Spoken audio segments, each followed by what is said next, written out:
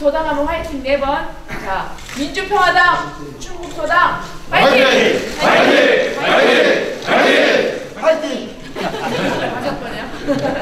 됐습니다.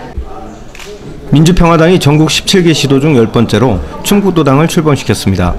민평당 지도부는 30일 오전 청주 S컨벤션에서 조배숙 당대표와 정동영 당지도부 대표 등이 참석한 가운데 창당식을 가졌습니다. 이 자리에서 조 대표는 충북은 역대 선거에서 캐스팅 보트 역할을 하는 중요 지역인데다 자체 여론조사 결과 호남 다음으로 높은 지지율이 나와 타 지역에 비해 도당을 빠르게 구성하게 됐다고 말했습니다. 한종설 충북도당 준비위원장은 빠른 시일 내 조직을 정비해 이번 6.13 지방선거에서 녹색 돌풍을 일으키겠다고 자신감을 내비쳤습니다. CBMTV 경철수입니다. 아, 아, 민주평화당 당대표 조배숙입니다.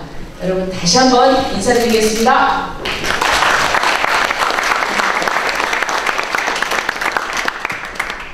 도당을 창당해서 출범시키는 것은 굉장히 좀 어려운 일입니다. 네, 우리 한종설 우리 창당 준비위원장을 중심으로 우리 또 창립 준비위원회 여러분들 정말 애 많이 쓰셨습니다. 수고하셨다고 우리 격려의 박수 한 번 부탁드립니다. 한종설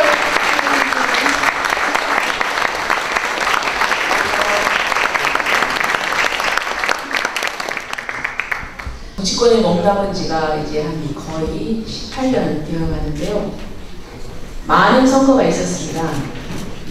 그런데 그 특히 대통령 선거 이렇게 쭉 보면은 하나의 원칙이 있었습니다. 이게 뭐냐?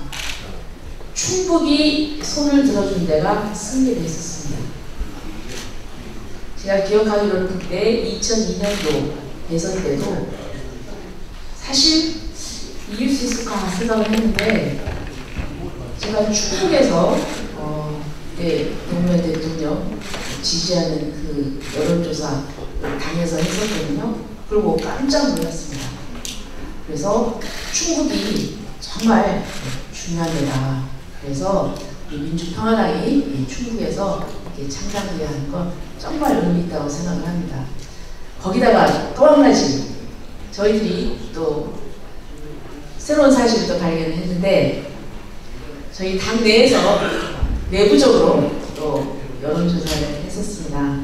그런데 이 민주평화당이 제일 여론조사가 높은 곳은 아무래도 호남이겠죠. 그렇죠? 네, 호남이죠. 그런데 그 다음이 어디냐? 충청권입니다. 네, 보십시오. 대전 시장만 우리가 출범을 시켰잖아요.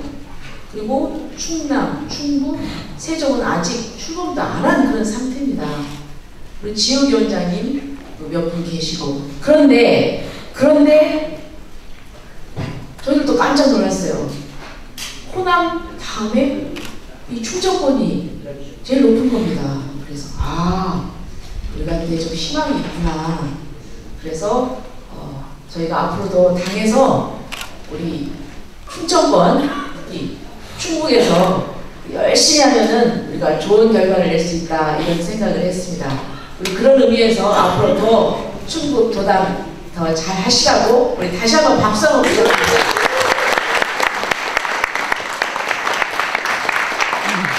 앞으로 6.13 지방선거에 어, 저희들이 많은 후보들을 내서 앞으로 어, 우리가 가지고 있는 그 민족 통일, 평화 통일의 가치관을 힘- 널리 알리는데 최선을 다하도록 하겠습니다.